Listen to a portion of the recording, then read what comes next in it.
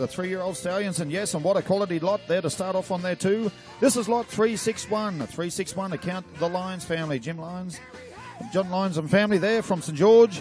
This is Coolum Quartz, of course, by Chevin Ivory. Chevin Ivory needs no introduction to the camp draft world. And out of the very good performing mare in Coolum Omen. So you're looking at a quality stallion here, ladies and gentlemen. Three-year-old stallion, lot 361. Coolum Quartz. A well grown colt with presence and athleticism. Of course, exceptional heritage breeding. And as I stated before, Omen herself, winner of many, many drafts the, and show classes. The dam of this particular lot. And of course, being brought along very, very steadily there.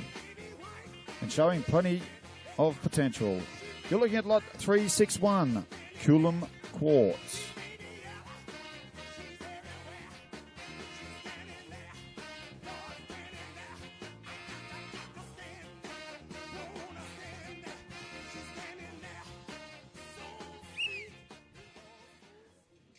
And of course, brought along there by Jim Daly. Account the Lyons family there at St George. That was lot 361 Coolum Quartz.